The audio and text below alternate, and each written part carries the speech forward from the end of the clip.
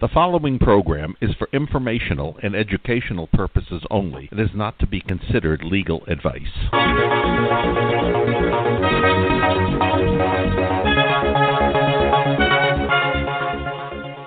Fraudsters Radio was created to expose the many scams and frauds that have so infected society today. Scammers, fraudsters, and rip-off artists abound, whether it's scamming homeowners with bogus foreclosure relief services, dating fraud, incompetent lawyers, or consumer rip-offs. It's high time the public has a voice.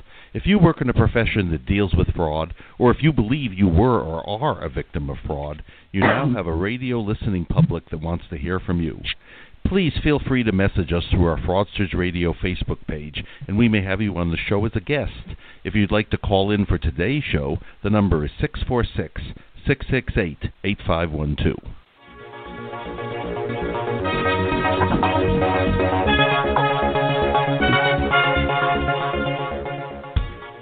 And welcome to Fraudsters Radio. I'm Lori Z, nationally syndicated radio host and consumer advocate.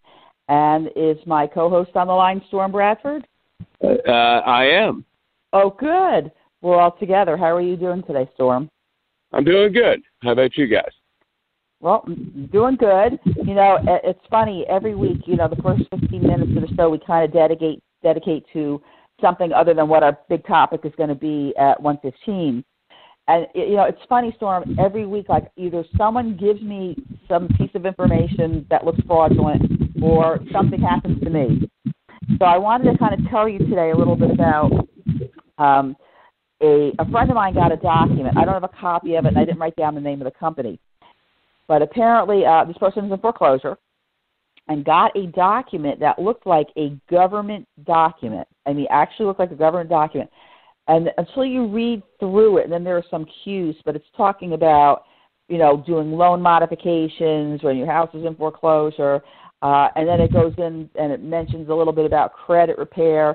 So you know me, I'm like a detective. I type in the phone number, and it comes up, and it's actually a credit repair company out of Tarpon Springs that somehow um, the guy that owns it is doing loan modifications. I don't know if it's legal or not, but the scary part for me was that the document itself and even the envelope it came in looked like it came from the government. Now, have you ever? Seen, I'm sure you've seen those, right? Well, actually, the government has cracked down on those uh, on those companies, and the AGs put them out of business because they try to make themselves look like a government agency, and it's fraud. And and as yeah. we've spoke before, loan modification companies are a scam anyway, because you can go to HUD for free and they'll put right. one of their government people on the phone with you to talk to your bank for free. So why would somebody pay five thousand dollars to get a loan mod? beyond me. I don't know, but it, it was. I I actually had to look at the document and and read through the whole thing because I'm going, wow, this looks real. But I'm reading through it. I'm going, mm, something doesn't seem. You know, it's sort of that red flag. Something doesn't seem quite right. But it's only because I've seen so many. I don't think most people have probably seen as many documents, you know, as you or, you or I have. And so that's why I get concerned is when you see a document that looks like it's from the government, is it real or is it not? Um, you know, I, I actually just got documents from the IR. You're going to laugh. I got documents from the IRS about my taxes, something about a payment that I made last year, and that either I or a third party that I had approved had called the IRS on December 31st, 2008. And so it was like on a Friday when I got the letter. It was too late, you know, to call the IRS. So over the weekend, I'm I, uh, the next day, Saturday, I get another letter, and it's it's like, oh, you don't owe the you don't owe the IRS anything. Everything is fine. You're all paid up. So I'm looking like you know two days apart. I'm getting these letters. My accountant's going, I have no clue what this is for. We you know I should take care of everything. So, but they, she, I actually sent them to her via email to confirm that they were legitimate IRS documents. Because again, people are, are getting uh, either the documents or they're getting the robocalls or the phone calls. Federal inmates in their names, and people they just make it look like that it's the United States government. What they would do is, is they put the seal of the United States government on their web page, and in real fine print, you know. Uh, it, they would say this is not our seal, but you need to have a microscope to read it, and and they all got put out of business, or a good majority of them have been. Well, people have to really look at it nowadays. Like I said, you know, you and I look at it, but a lot of them really look real. They really look real. And so it's hard. And I, you know, I worry. I talk to my mom or my older relatives, and I worry that they're going to be taken advantage of by somebody that's sending a document that looks real and that isn't.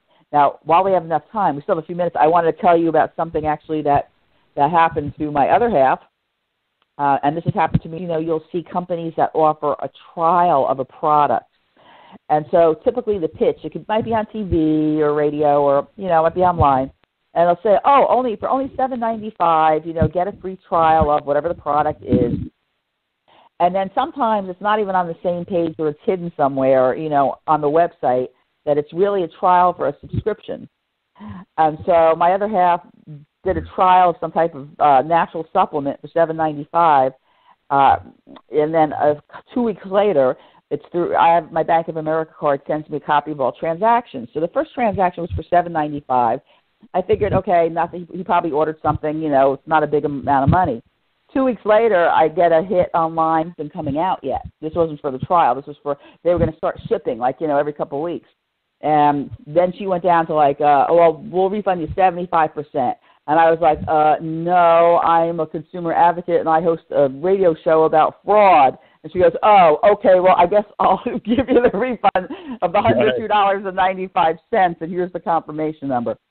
I mean, that's what it's coming down to is that, you know, when you go online and you look at some of these things, I think I told you a long time ago I signed up for stamps.com figuring I, you know, I mail a lot, so maybe hey, I could mail from from the house on this little postage meter.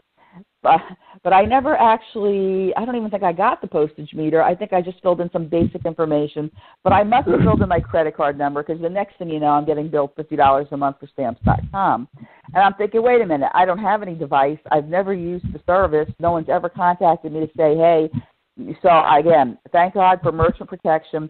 That's why I like credit cards against debit cards. When something goes wrong, you've got a lot better chance of um, getting it taken care of than you know if you do pay it with uh, debit, which is cash.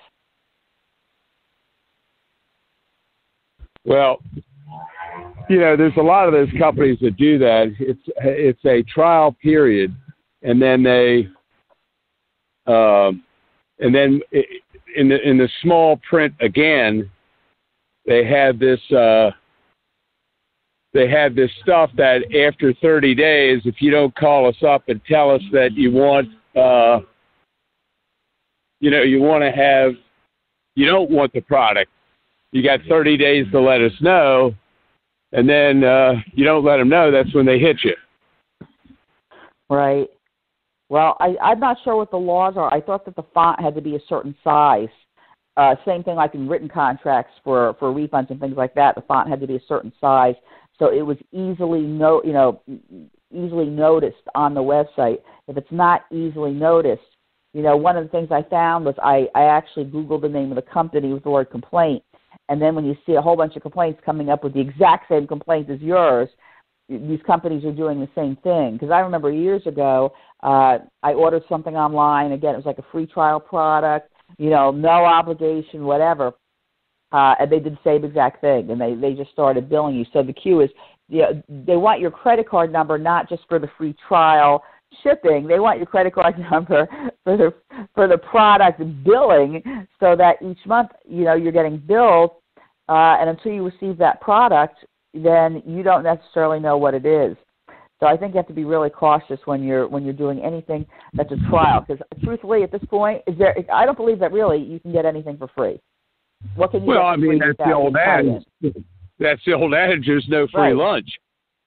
Right. You know, so right. You, got to look everything with uh, a jaundiced eye because if you don't, you know, you're going to end up getting screwed down the road. Yeah it's a shame that you know for, for I know for internet laws there's a, I think it's a form called IC3 which is the Internet Complaint Center. You can go online and find that if if you have problems with a company you know online over the internet where it could be considered a crime. But I, I guess you know it's like we're trying to be like crime fighters, fraud fighters here to you know let all, all of the listeners know um, what they can do about particular situations. And of course, we would like to hear from listeners if they have any story ideas. We're always open to that, and they can reach us uh, through the fraudsters uh, Facebook site. They can reach us that way. Uh, do you have any you know, stories to share with us? Go ahead. no, but you know the uh, uh, how they get away with what they get away with is again is the fine print. You know, they uh, the one that you need the microscope to read, and they get away Right. with it. 'cause they say, Look, it's right on our website that after 30 days we were going to charge your card. But uh, the Yeah. print again is so small, and you're reading about the product, and you're saying, "Oh, okay." Or a lot of them, what they do is they give you a free bottle, just pay shipping. Right, We'll right. send you a free bottle of this vitamin to try, and uh, it's only seven ninety five for the shipping. So we'll even Yeah. send you two bottles. It's seven ninety nine, uh, seven ninety five for the shipping, and then, but in the fine print it says that if you don't cancel this within thirty days, it's one hundred and fifty dollars. Right. That's and, how they nail yeah, what, what I'm finding too, though, is with certain businesses, you know, if you don't, you have to read the contract because sometimes they won't accept a cancellation notice by phone call. They want a cancellation notice in writing, and so Yep. that can make it a little a little harder too. And you have to be aware of how much time. But it's funny, um, you know, uh, being a credit consultant, I can tell you, I don't think most people even look at their credit card statements. Like I read my statements when they come in to check and see, you know, who is it that I ordered from? Because sometimes you order from a company and it uses a different name. Now nowadays, a lot of companies, when they send you the receipt, they'll say, by the way, if you paid with a major credit card, you know, the bill will appear under this name, which I think kind of makes it handy dandy. You know what it is. But other times I've looked at things and I'm like, oh my God, like uh, what the name of this particular company was Palomino something. Palomino's a horse, and it was some type of nutritional supplement. Well, you would never put the two things together. But the funny part was, you know, I'm, I'm pretty aggressive on the phone. The Bank of America person from the fraud department was great. Uh, but when she did that three-way call, and, you know, basically I just beat that lady down and said, uh, "No, I looked at your site, and you know, I don't, th- I don't, I don't think you want to be on my radio show about consumer advocacy because you know what you're doing is is you know deceiving people. You know, it's it's a deceptive practice. I think. So I said that's my opinion. Well, it is. I mean, it's uh, but you know, again, they get away with it because they say, "Look, you didn't read the fine print. Sorry." Yeah. Well, that's why you have a better shot though using the credit cards and the debit because I guarantee you, I don't use debit, but had I, I would not have gotten my money back. But because I did Probably it on not. a credit card, and because here's the thing: when you have credit cards, your most credit card companies will not just send you your statements online; they'll send you every time you make a purchase, you'll get an email online. So for me, that's kind of handy because when I see something, I, I get to, I get to know right away: is it something I purchased or my other half purchased, or is it something that's a fraudulent purchase? You know, and I like that when they do that. Yeah, well, they're pretty good. Uh, yeah, debit cards. Yeah, you may not get your money back. Right. But credit cards, uh, you know, lots of times what happens is is that even if you um, even if you lie to your credit card company, and let's say you say, "Look, I ordered this product and I never got it," Right. if if you and, and you actually got it, and you lie to your credit card company and say you never got it, they'll give you your money back. Um, they might, but the only thing is, if they tracked it, here's how the post office works. If they tracked it and the tracking number shows it was delivered to your mailbox, they may not give you a refund for it because I can tell you, since I used to do a lot of eBay at one point, um, I've had people where I've shipped to them, and and, and I'm going to say not all of them were probably scammers. It happened a few times, but I'm going to guess most. And so um, eBay requires that you have a tracking number on merchandise so that they know where it went to.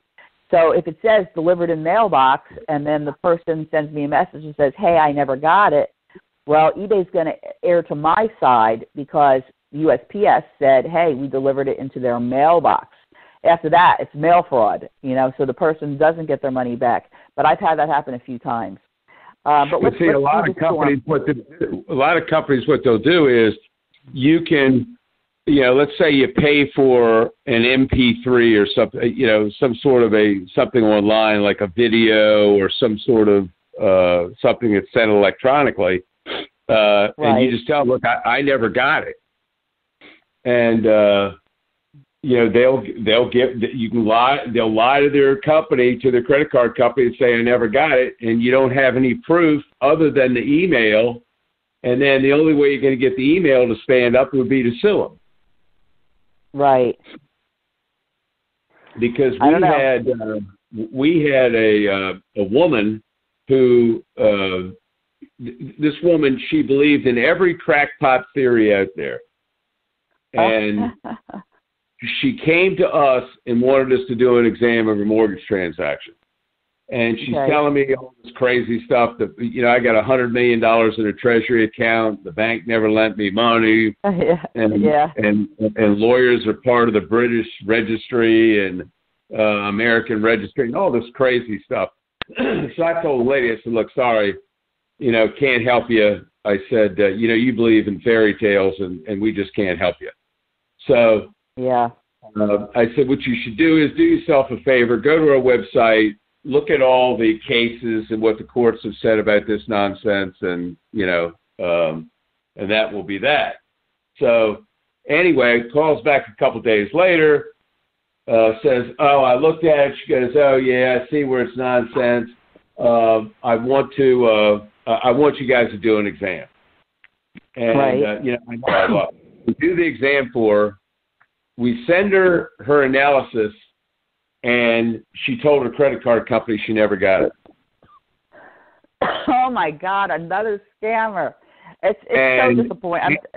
So And we disappointing. come to, and in doing the analysis, we found out like the woman filed bankruptcy like five times in one year. Oh, geez. So she was yeah, scamming really got hit with bankruptcy court. She was scamming everybody, and she scammed us because her. we use PayPal as a merchant servicer, and uh, th- you know they're telling you know I sent look here's what we sent. This is what we did. You know here's the emails between her and and, and so forth and so on. And then next thing I get, uh, I get something from PayPal, and they said, well, you know we had to give her her money back.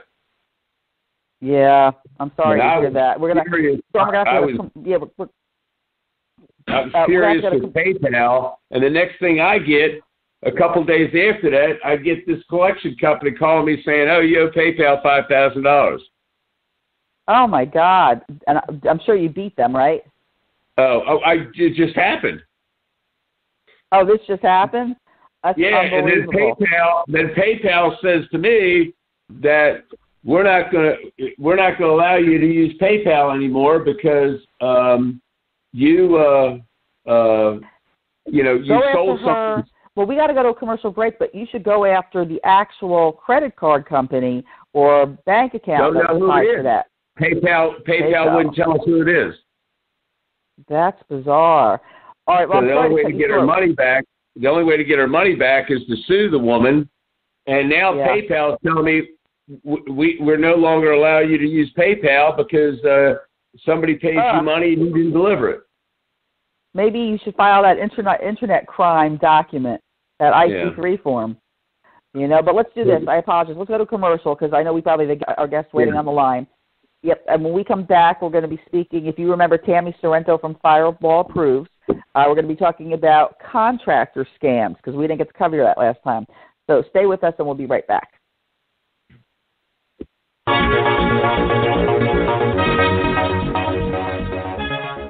Have you received a notice of foreclosure on your property? Do you suspect that you're involved in an unfair or fraudulent loan agreement? Are you looking for a way to save your veggies that the so-called gurus aren't aware of? If you answered yes to any of those questions, a professional team at Mortgage Fraud Examiners can assist you and your attorney with all of these things and more. Contract breaches, errors, statutory regulatory violations, fraudulent appraisals, and other fraudulent conduct cause most mortgages to be legally problematic. In fact, the Federal Deposit Insurance Corporation found that nearly 2,000 financial institutions for significant compliance violations. They also examined appraisals and found out that of the 259 appraisals reviewed for accuracy, only seven fully complied with professional standards. Call us at 844 920 7200. That's 844 920 7200. Mortgage Fraud Examiners 844 920 7200. Okay, we're back on Fraudsters Radio Show, and it's AM FM 24/7 radio. And we today have our special guest who's been with us before. She's excellent. Her name is Tammy Sorrento. Tammy, you're with us? I sure am. Hey, Tammy, Hi, I understand Tammy. you're going to uh, tell us about contractor scams and educate us on that. Absolutely. The major tip that I want to give today to all the listeners is when you hire a contractor, it can be a contractor that comes to work on your home. It could be, let's say, you're moving and you hire a moving company. Any time that you're hiring a company, request a certificate of insurance in your name. So if someone, let's say you're getting your roof repaired and and I always beat up on roofers because that is such a hazardous type of work. So if someone gets injured on your property and they don't have the adequate insurance, guess who's going to get sued? Saying Yes. Well, are you are you saying, Tammy, that when like if I hire a contractor to work on my roof, they go through their own Yes. insurance company to get a certificate of insurance made out in my name, so that if anything goes wrong, then I don't have any responsibility? Well, here's how certificates of insurance work.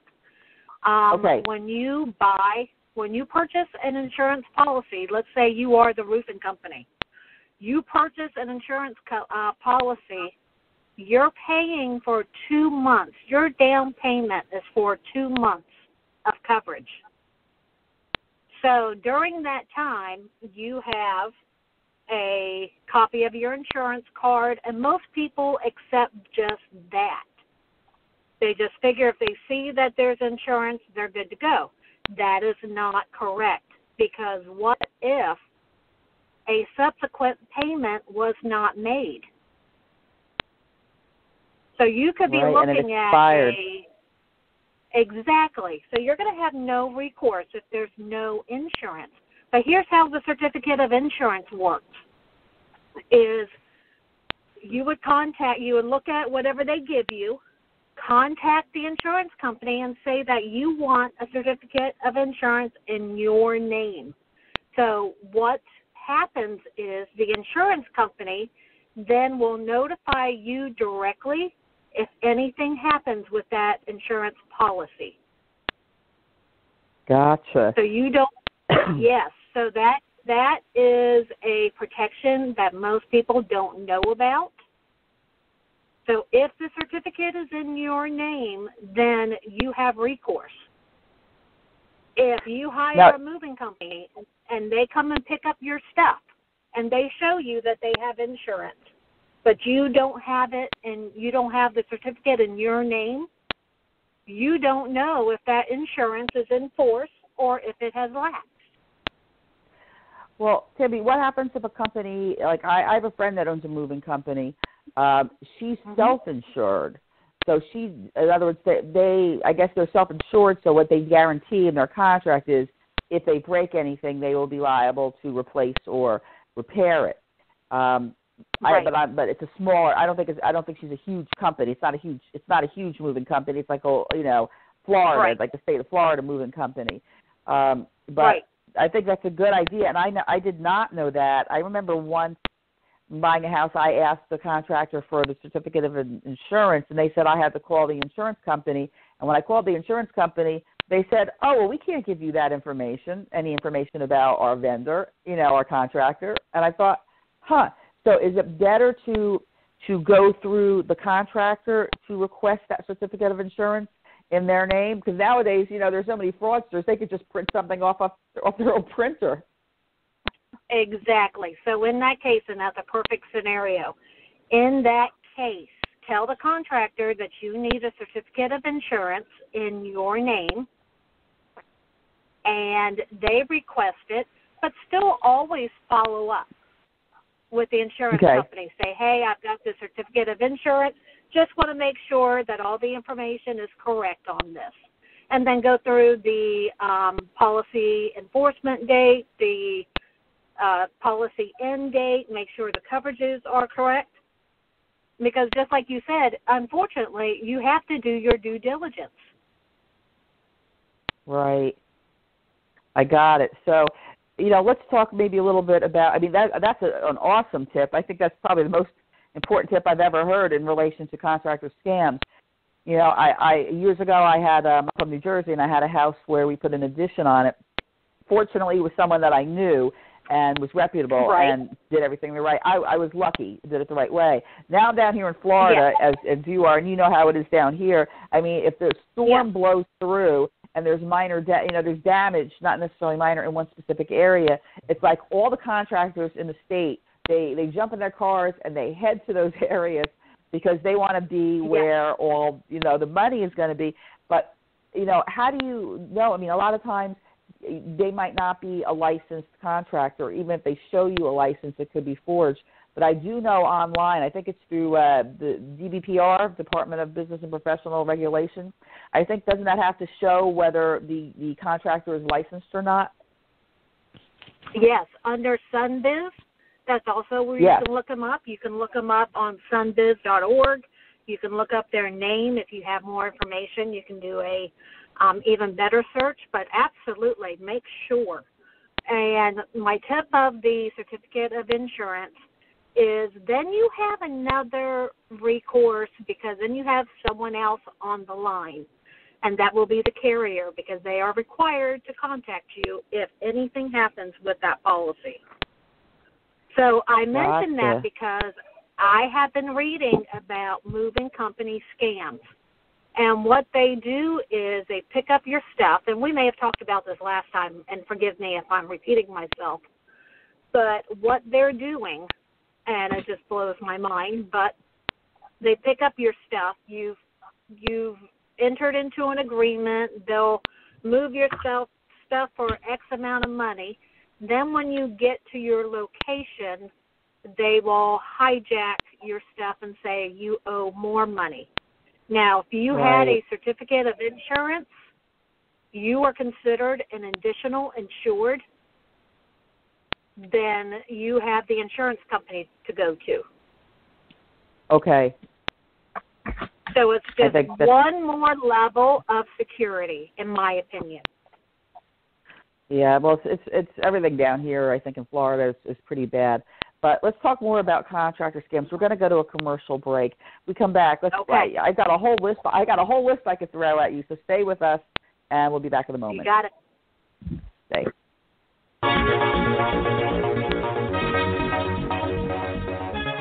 There is a very high likelihood your mortgage contains an extensive error. At Mortgage Fraud Examiners, we know just how costly a missed opportunity can be. For almost 40 years, we have consulted, retained, and referred to by attorneys, lawyers, trial practitioners throughout the nation. Put another way, we are the trusted source for litigation support. A foreclosure is basically an allegation the homeowner breached the contract by failing to make timely payments. The contract is clear. The borrower promised they would make timely payments, and if they didn't, the lender could take the property. The only way to overcome the homeowner's breach is to show the lender breached first. Identify errors that would void the contract. Identify regulatory violations.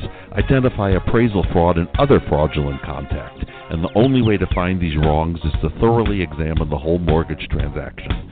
This meticulous examination of your mortgage transaction and appraisal can identify legal defects that would make your mortgage unenforceable and entitle you to compensation or even free title to your property. Call us at 844 920 7200. Mortgage Fraud Examiners. That's 844 920 7200. 844 920 7200. Okay, we're back on Fraudsters Radio at AMFM 24 7 with our special guest, Tammy Sorrento, and we're discussing contractor scams.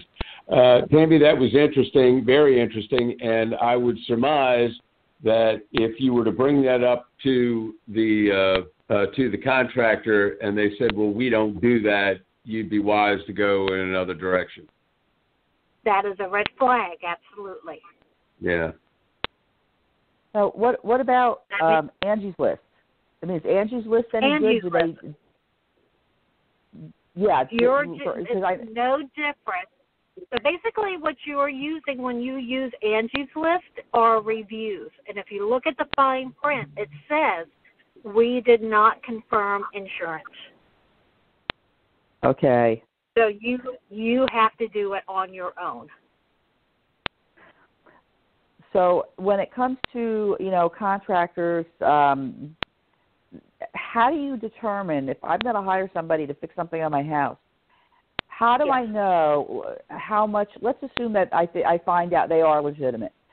Is how do I know how much Right. to pay them? I mean, is it a certain percentage of the job? Is it just enough to get materials for the job? And if it's you know if it's a longer job, how do you? Everything I'm assuming has to be in writing, right? Every step should be Yeah. in writing because you want to protect yourself. But how do you decide how much money? Like if they say, well, we need 15% down to paint your house, is that a fair amount or not at all? You know, initially. I think all contractors are different in that respect. So in that case, as far as you know what's acceptable, that's kind of up to the contractor. Okay, because I would be nervous. Like some of the contractors where where I live, I'm in Land Lakes, Florida. They do not Right. accept credit cards. No credit Okay. cards. They will only accept cash or uh, a check or a debit card. To me personally, want- that is a warning. That's a warning. Yeah, what is the reasoning for that? Uh, I'm thinking take the money and run. Um, I think the reasoning Right. for it is that is that when using a credit card, there's a certain percentage. You know, I don't know what it is, three or four percent maybe, that they have to pay back to the company for you know allowing someone to use their credit card. Now, I know I've done Right. shows on this before with credit cards. It's actually illegal to charge more money for a job, uh, and if you're using a credit card, you're not supposed to charge, like MasterCard or Visa, for example, you're not allowed to charge more than you would a cash price. But a lot of companies Exactly. will do that. They'll say, hey, you know, if you're going to use a credit card, it's going to cost us 3.5% more, so we're going to charge you 3.5% more. Now, if MasterCard or Visa find Ooh. out about that, you know, that, that could be a problem for that particular that particular client. But you know, eh, I don't know. This is a scary state, like I said, and you know, people can Right. knock on your doors or they leave they leave those little things in your door saying, "Hey, your lawn looks really crappy. Hire us." And so when I first moved or, here, I or we I hired were a in your neighborhood. yeah, we were in your neighborhood, and you know, I had one of those companies when I first moved in here, and they did such a crappy job on my lawn. It was, I, it was Right. so embarrassing. And the poor guy that came to work on my lawn, he was actually honest, and he told me up front, the company sucks. He goes, but just I'll be coming. I'll take care of you from now on. And he was with the company probably for a few months, and I guess he got fed up and he quit. And so, you know, then they Oh, went wow. back to doing whatever it was that they were doing that wasn't working. And my lawn was like getting worse and worse with fungus. And then I finally canceled it. And you ready? So I look online because nothing they gave me, no paperwork, had their address on it.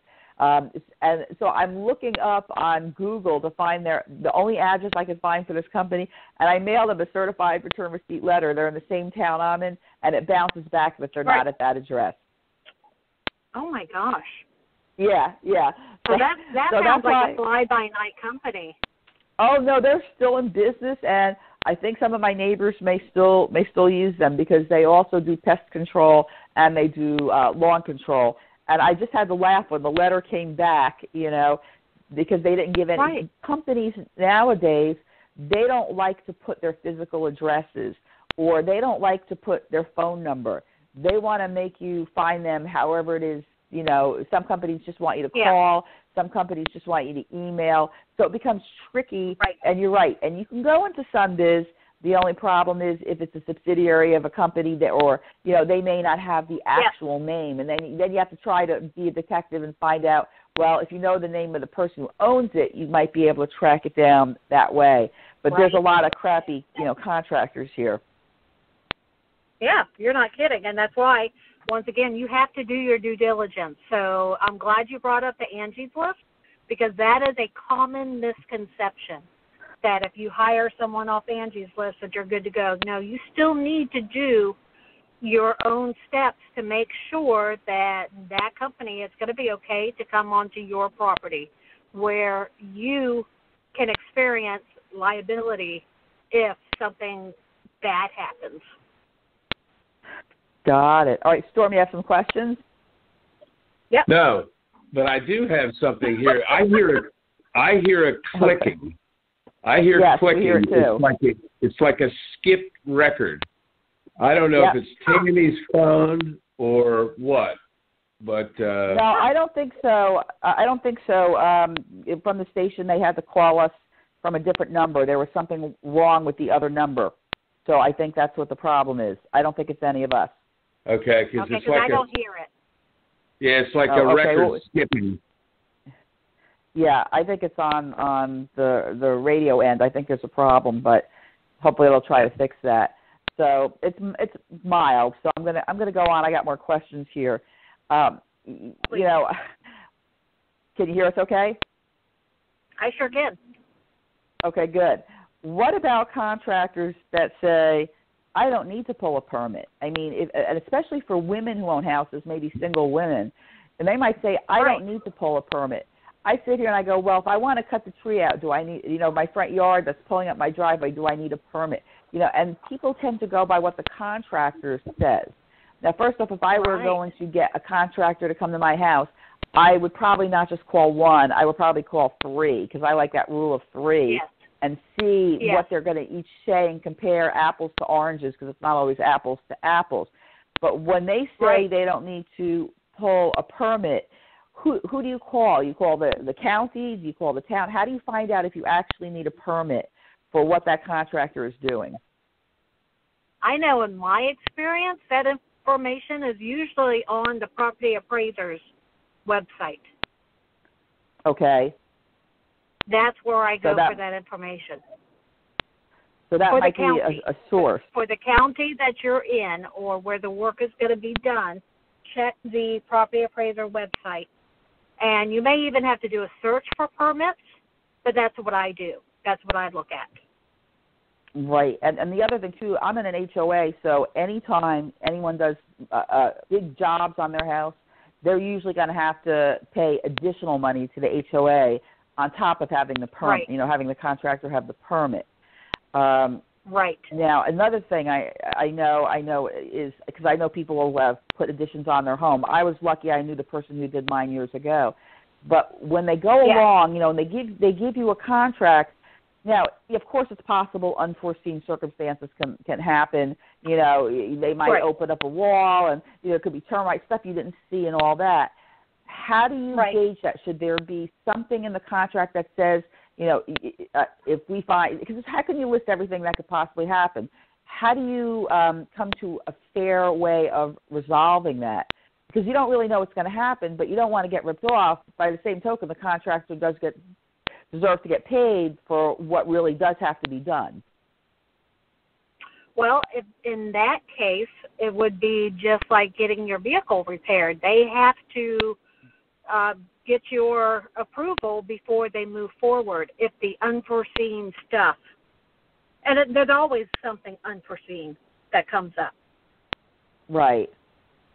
So yeah, you definitely don't want to sign a contract that gives the contractor um, the rights to do whatever without your authorization.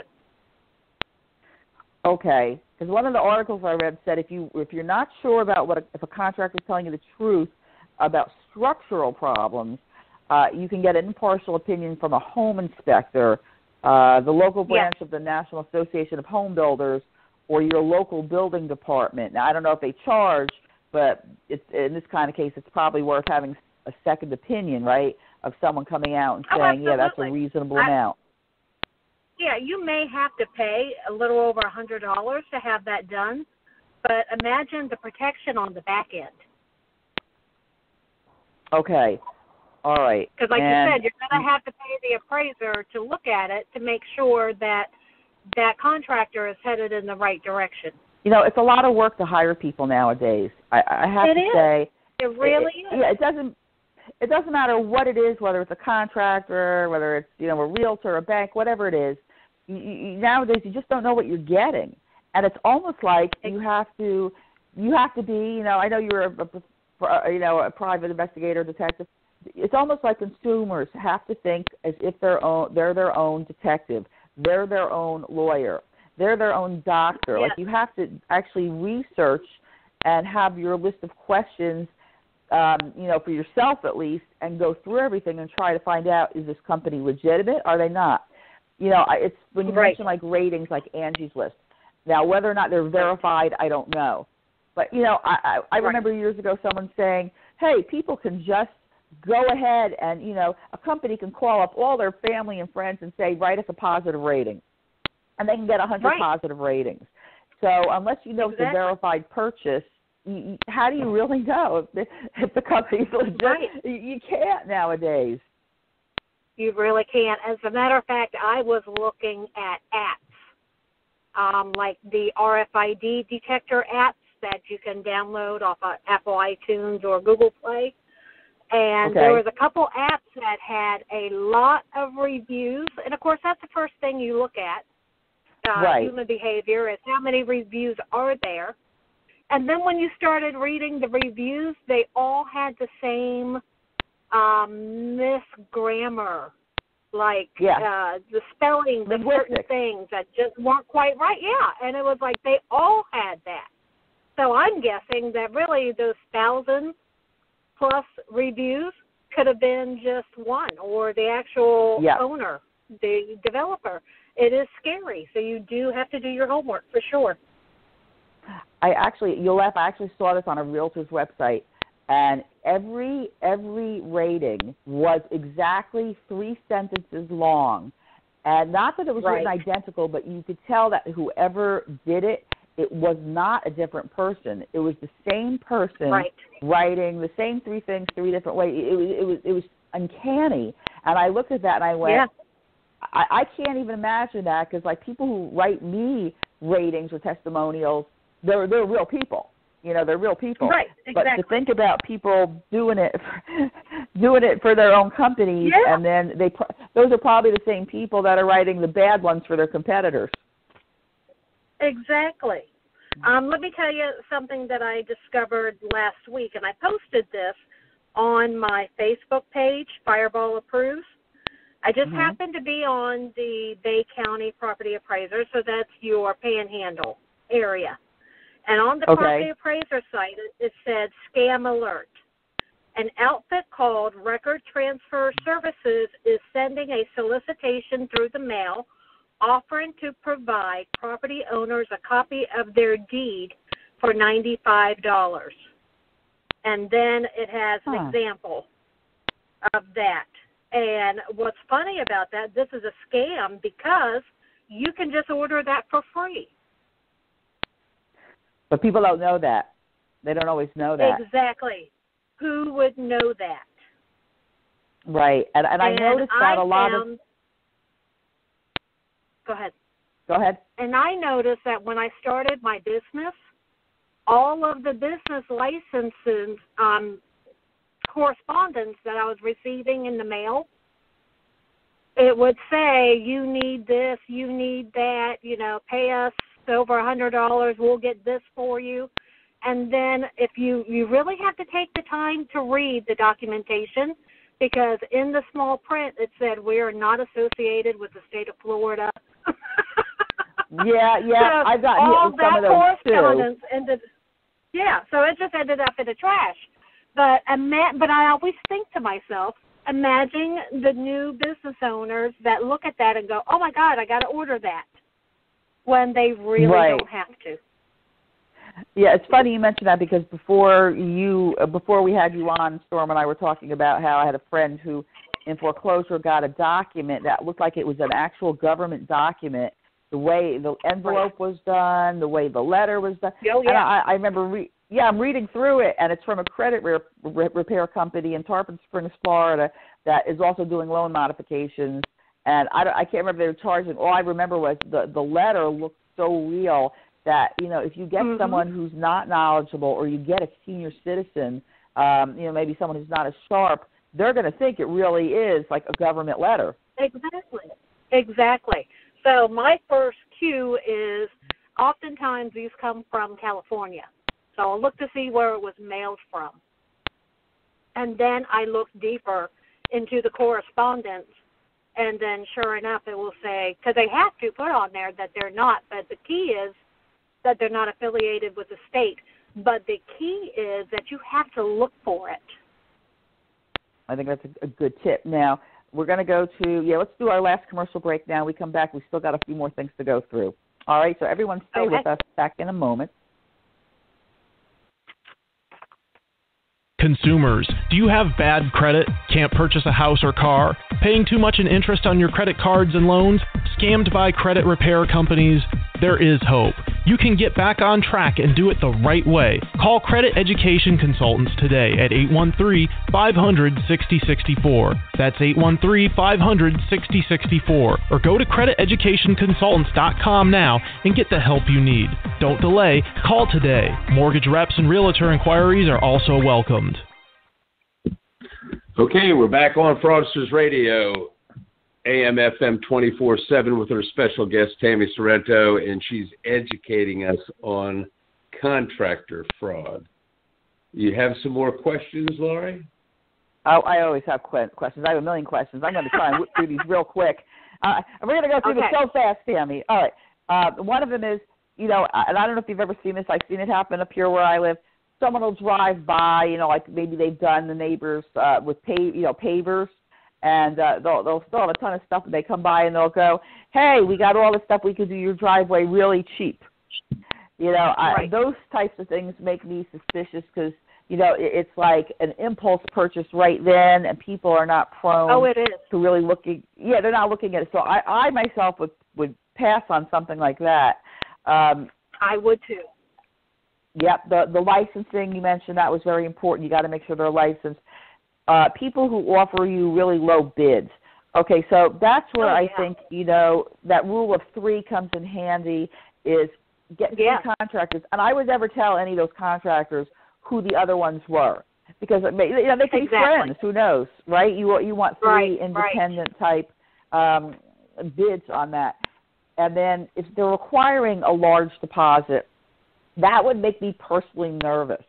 Um, Right. especially like we said on their receipts.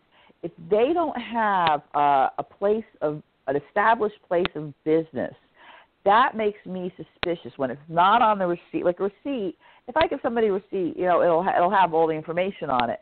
But a lot of these contractors are fly by night, and so what happens is um, they can just close up shop, right? They can Mhm. declare bankruptcy if they need to, or they probably don't even do that, and then they just can reopen Right. the next day under another name, right? Exactly. Yes, they do do that. I know Texas is really bad about that. Um, so once again, the same thing, same principle. Um, always make sure, and like you said, the, the time, the fact that they're right there and they can do it really cheap is definitely a red flag. Yeah, no one does and anything I really would anymore. that up. Yeah, Yeah. yeah, me, um, me in fact, too. we got we received one of those postcards, and we actually need to have some trees removed in our yard. And I contacted the company and I said, "Hey, I'm the owner of Fireball Approves, and I'm going to need a certificate of insurance in my name." And you know, they never contacted me back. So Yep, yep, there you go. Yep, I've done that figured I before, dodged like- a bullet there. yeah. I, I did that once when on one of the houses. I have the lanai screen, and you know, I, I'll say, "Are you insured?" And if they say no, I'll say, "I'm sorry, I can't use you." And then they'll come back with the Right. lower price, and I go, "It has nothing to do with the price. It has to do with if something goes wrong." you know, I could get sued by you or your employees could sue me and I'm not going to do that Right. without having some type of insurance. But if they don't have um, a permanent place of business, you know, and I laugh, I always laugh when I tell people I read Craigslist ads for entertainment value, but you will actually see Right. people posting scam artists in Craigslist. You know, if you and so you'll Really? see yeah, from time to time, like you'll you'll read like somebody will use someone, and they'll, that's how I know they Yeah. closed out their name, and the next day they open. Because you see, if you look on Craigslist, they actually people post that kind of stuff, so as a warning, so that other people can kind of see it. Um, Brilliant. Yeah, but and then- then, you know, yeah. who's going to really look for that? But that is good to know.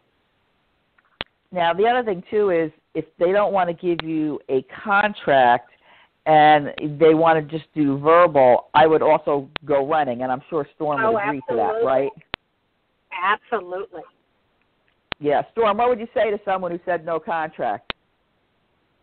They don't want to sign a contract. Yeah, in other words, if if uh co- yeah, contractor says, "Hey, we don't do contracts." and we don't do business. yes, that's true. But there are people who will do it. There are people who will fall for it. There are seniors that'll fall for it. They'll say, "Oh, well, we have a senior special and it's fifty percent off," but no, I can't give you a contract. And then they hand over the money. I know. It blows my mind. It really does. Now, let me ask you, what do you think about uh, getting references? You know, like the old days, before you hire someone, you'd say, "Hey, I want to get a few references." Is it worth doing that, or are they just going to give you like three people that they or you know already know, kind of thing? Or, or you know, you know, if were Um, me, I'm thinking out loud. Maybe I would say, give give me three references where you're actually doing jobs now, because a lot of times they put the sign out in the front yard. That's a good idea. Always check a Better Business Bureau. Um, check and see if they have a Facebook page because most companies nowadays do have Facebook pages and see what those type of reviews look like. Okay. And then you get the people that offer you special deals. You know, they offer you the special deal if you sign right now. And you know, I'm going to tell you guys a quick story because this is, goes back to when I was married. So this is probably 12, 12, 13 years ago. Lived in a house with a pool, and it was a high pressure salesman, and his associate came in and wanted to sell us a um, solar panel water heater type thing for the pool. And Right. it I mean, it sounded really good, but there was a three-day right of rescission, and I don't remember what happened, but I remember we decided to kill that deal, and they were really upset. Like it was difficult to get the money back um, from that, but I can't remember why we decided to to do it. But I do remember they were really high pressure. Like when they come to your door, uh, and they're not allowed to do that in a lot of HOAs. They do it anyway, uh, and it's Right. it's one high tactic pressure salesman, and uh, you know, especially I hate to say it, it, I think it's more towards women that they gear it than men. You know, because women I agree. just are, are not. uh, They don't. Most women don't know as much about houses. I think more Right. men know more about it. So then they come in and they do the high pressure thing. Well, first off, I don't let strangers in my house, so I'm not gonna, Right. you know, do that. Not unless my other half of my dog are home. Um, but that would Right, that to right. me would be a warning sign. High, high pressure tactics, right? Just just kick them out the door, Oh, kick them to the curb. Oh yeah, absolutely. And you know what? We're, we're not in a um, day and age where they're the only game going. Um, they have competition, so if they cannot um, deal with you on your timetable, then move on. Okay. And then as far as how you pay them, like cash is probably not best, so that's sort of a warning if they want cash. Um, but you should I know you should get a receipt for every time they make it. See, I'm a good record keeper, so every time I do Me something too. I want to have I, yeah, I want to have a document. If I write a check and they cash it, I want to I want to print it up and you know keep a file, even if it's inside my computer on that. That way, if I have a problem down the road, I don't have to go hunting for those papers. Now, Storm, I actually have a yeah, I got a question for Storm maybe to answer for us on this last one. See you there, Storm? Okay. I'm here. Okay. Mechanics liens. So if a contractor claims that he's unpaid, um, what is the normal process in most states? Because I know they can put a lien against the property. Do they have to go to court? Do they have to sue you? Um, you know, I can think of plenty of people. Like I know someone down here in Florida who who hired a roofer to do a job, gave him some money. The roofer never completed the job, and then the roofer put a, a, a mechanics lien against his property. What? How, how does that all work? So, so our listeners kind of have an idea of what they need to know. Well, um, there there's forms that they can fill out. Uh, they can they can put it. Uh, they can you know go to the land records.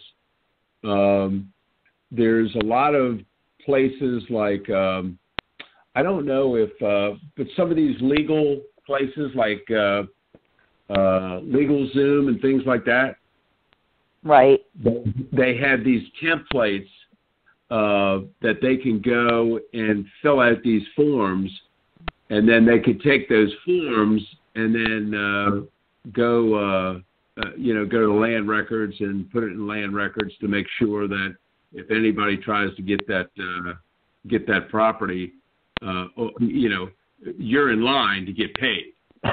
So But do they? Uh, but what I'm saying is, do they have to actually file a court case where a judgment has to be won to place that mechanics lien, or all they have No. to do is say they could just say whatever the heck they want and then go in and do it,